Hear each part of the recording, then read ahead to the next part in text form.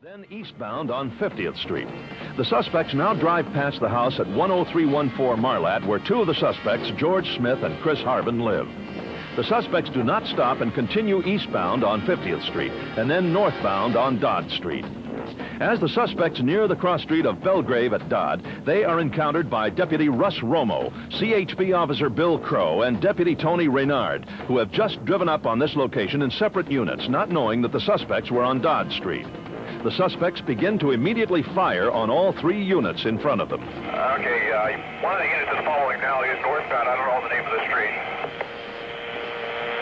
Riverside over 211. You know, 105, I believe. Yeah, over 211. Are you able to communicate with us? Side 200. people are. Uh, suspect vehicles are continuing north. From what Pullman advised the units on Belgrave, I believe it is, are approaching that vehicle at this time. Okay, head on. Vehicle is now uh, eastbound. I believe that's Belgrave. After the suspects turn eastbound onto Belgrave, their gunfire disables all three units. Deputy Romo just misses being struck in the head by a bullet. Officer Crow is struck in the right arm and is later attended to by Officer Ernest. Deputy Reynard receives a serious injury to his left elbow and is later attended to by Deputy Madden. Uh, Baker 1, the unit has just turned southbound off of Belgrave. The FO unit just passed them.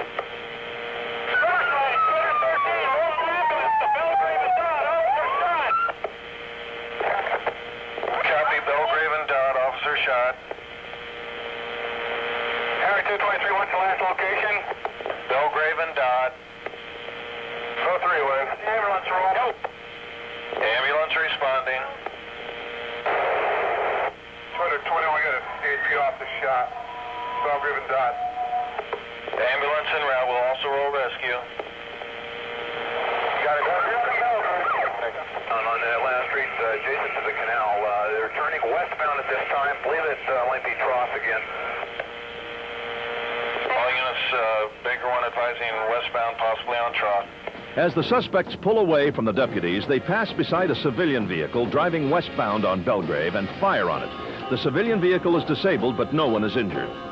This next group of slides shows the damage to just one of the units being driven by Deputy Reynard. Inside the patrol unit, you see what happens to items carried in the front seat during a chase. This is the injury to Reynard's left arm. The suspect vehicle turns southbound onto Bain Street from Belgrave and passes a group of four 12-year-olds on bicycles that just happen to be there. The suspects fire on them, but only one of them is wounded in the finger. The suspects now are not being chased by any ground units. Baker 1, the Riverside Police helicopter, however, is able to continue surveillance. Uh, Baker 1 is still westbound, just crossed through a uh, stop sign intersect. Ever 324. That street. Looks like it's about uh, one block north of Jurupa. Over 324. Uh, 1097 here at the scene.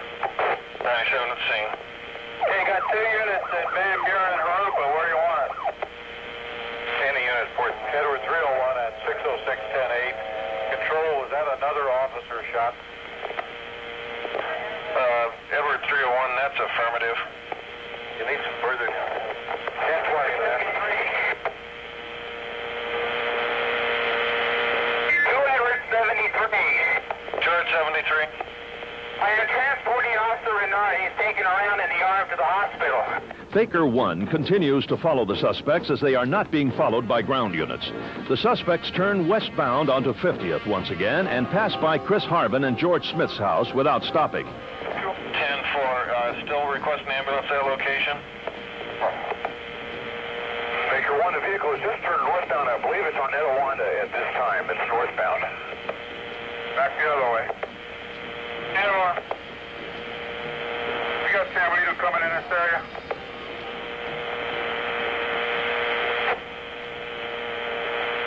And Baker 1, the vehicle has turned eastbound again off of Etiwanda. Control, what's last known 1020 of suspects? They were northbound on Etiwanda, just turned eastbound off of Etiwanda onto an unknown street. Deputy John Zellis, a detective with the Riverside Sheriff's Department, was in a plane unit eastbound on Belgrave approaching Etiwanda when he saw the suspect vehicle northbound on Etiwanda and gave chase. Edward 214, I'm behind the vehicle northbound. They're hooded subjects. We just put another clip in the weapon. Fired at this officer. Edward 214, copy northbound. What's your cross? Just past Belgrave. Northbound just past Belgrave. Sheriff, uh, if you can, Has Ontario been notified? only got about 40 minutes left on fuel here. Edward 214, Edward 229. What's the description of the vehicle? It's a yellow pickup truck, a big international uh, pickup truck. There's two subjects in the back. They've got hoods on, and I just saw them put another clip in the weapon.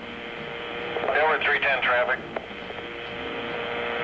Baker 1 vehicle is still northbound, approaching Highway 60. Northbound at Highway, coming to Highway 60. They're slowing down. There's at least one in the back and one in driving. I believe there might be a passenger. Baker 1 vehicle has turned left onto Mission. He's now westbound on Mission. Westbound on mission from Etiwanda.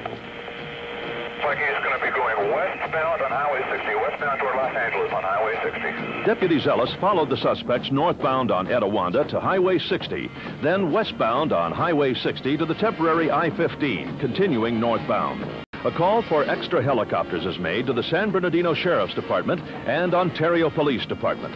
Deputy Parks and Deputy Chisholm catch up to Deputy Zellis and take the position as lead vehicle in the pursuit. Just after the suspects turn northbound onto I-15, the first San Bernardino helicopter, 40 King 1, a Hughes 500C helicopter, arrives in the area. It was piloted by Lieutenant John Gibson and observed by Sergeant Ron Hittle. The suspects fire on the helicopter and hit it. One bullet strikes the left landing skid, which bounces off that and into the underside of the helicopter. The bullet goes between Lieutenant Gibson's legs and strikes the instrument panel, causing an electrical fire.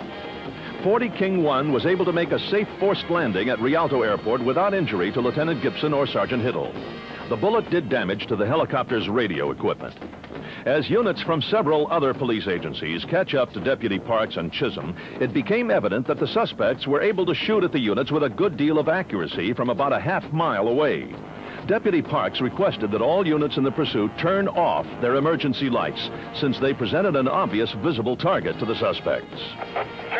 Lights. Car ahead of 13. That's a target. Uh, be advised, they were firing. I wouldn't get too close. Affirmative, high-powered rifles. Got you covered. Did not get too close. Madden? Confirming 15 north to Vegas, uh, Barstow. That's affirmative. Uh, we're approaching Baseline Road, approaching 4th Street, northbound 15. Copy, we're behind you with a CHP also. Your lights off. They've been firing from half mile around, hitting units. Copy, we'll run our lights till we see you, then cut them. They haven't thrown anything out of the truck yet, so they must have that weapon they fired at me with. They could be low on ammo. I hear rounds. Three now. They're firing rounds now. God, they'll shoot at you. Dallas, where are you at? Brown Ford. Where are you, right behind him? Edward 310 to go with driving. Dallas, when are we going to three and try to figure out what we're going to do here? Wait till they run out of gas or ammo. That's affirmative. Just keep it inside, let the helicopters do the rest. Uh, Riverside, keep in contact with CHP helicopters. We're going to have to hold off a considerable distance. Edward 310, copy. The CHP up behind me, if you're monitoring, can you block that traffic coming up on us?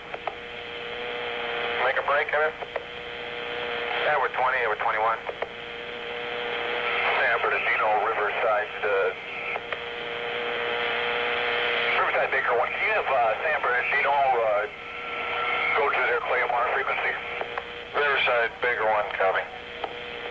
Turn off that other red one. One unit passed Deputy Parks and Chisholm's unit and approached the suspect vehicle. Suddenly, an explosion took place in front of that unit. An additional two explosions took place during the pursuit. For information, they're throwing explosives out of the vehicle. Uh, apparently they've got shotguns and possibly M16. Jared 59, copy. CHP is closing off uh, the freeway at Highland. Uh, they got explosives? That's affirmative. They've ex- uh, thrown one explosive device out the rear only.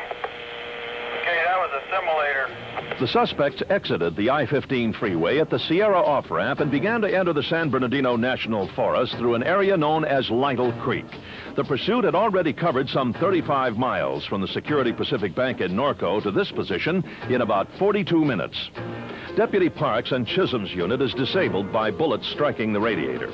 Three CHP units and Deputy James Evans of the Riverside Sheriff's Department lead the chase of the suspects. Get off on Sierra. That's fine. Anyone? Interior 13, now we're getting off Sierra, off the 15, going in a general easterly direction. Turret 15 off, 15 at Sierra going in an easterly direction. Third, fourth. Unit that was hit. Elmer, you, you, got, you need a ride? I got him. Freeway 13, we're in a westerly direction on Sierra at this time, undergoing underneath the 15. Westbound on Sierra, under 15. 74, we just entered San Bernardino National Forest. I've been hit. Nothing serious. 74, do you have visual contact with the suspect? That's Furry, we're right behind him. 74. The suspects drive the stolen pickup into the Lytle Creek area of the San Bernardino National Forest. The pursuit eventually leaves the paved road and continues for about seven miles on winding dirt roads, the width of which is about 10 to 12 feet. The suspects had come to Lytle Creek as this is the place where they had taught themselves how to use their weapons. Deputy Evans begins to call out the pursuit as the paved road ends and the winding road begins. Okay, fall back, they're really firing now. Possibly blown backwards by the wind. 10-4, unit with Evans, advise your location, uh, and are they stationary at that point? That's the negative, they're moving, we're a quarter mile from the ranger station on Sierra Road in the National Forest. They're firing like crazy. Can anybody on this frequency see the vehicle? I think Evans uh, is the closest one. Okay, we, uh, we got him up there. We had to slow down. He laid a bar barrage on us at the last curve. Sergeant Bender and Detective Hopkins, undercover narcotics detectives of the Riverside Sheriff's Department, were also in the pursuit in a plane unit. They had the only radio that could communicate with the San Bernardino Sheriff's helicopter that was overhead in the pursuit.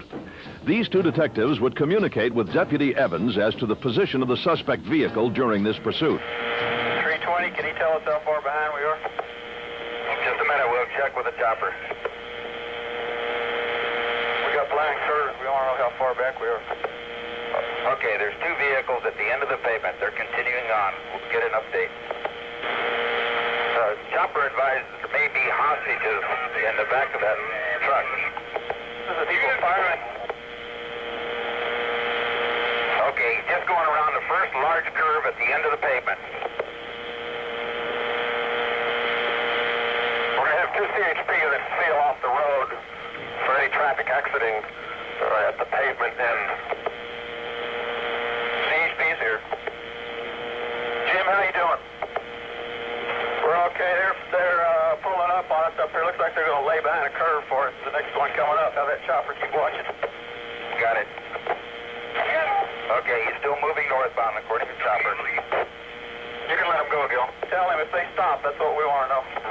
Okay. After deputies Parks and Chisholm abandoned their unit, they were picked up by Detective Jordan of Riverside Sheriff's Department. Deputy Parks was able to commandeer a 22 caliber lever action rifle from a target shooter in the area. Deputy D.J. McCarty and Deputy Jim McFerrin of the San Bernardino Sheriff's Department were responding from their Fontana substation with an M16 rifle to use against the suspects. Henry 223 units in the front. Uh, San Bruno SO is uh, trying to make their way up to the front. They have an automatic weapon. Edward 21. Yeah, we saw them. Okay, uh, Edward 320 to all the units in the chase and pursuit. We're about a mile behind them. So we commandeered a uh, lever action 22, so we had a little more uh, long range. Eventually, the gunman and the getaway vehicle came upon a washout in the road about halfway up the west side of Mount Baldy. The suspect vehicle comes to a stop unknown to Deputy Evans. Okay, I'm moving. That San Bernardino You can come up. Can catch them on going up the ridge line over there with a mountain backdrop. 302, are they moving? All four of the suspects get out of the pickup. They stand at the back of it, waiting for the first units to round a corner about 75 yards south of them. One suspect stands against the side of the mountain and moves closer to the bend up the road where Deputy Evans is about to appear. As soon as Deputy Evans rounds the curve, his unit is immediately fired upon. Numerous bullets begin striking Deputy Evans' unit. His windshield is shattered by gunfire. The interior of Deputy Evans' unit begins to disintegrate. Deputy Evans makes his last transmission. Okay,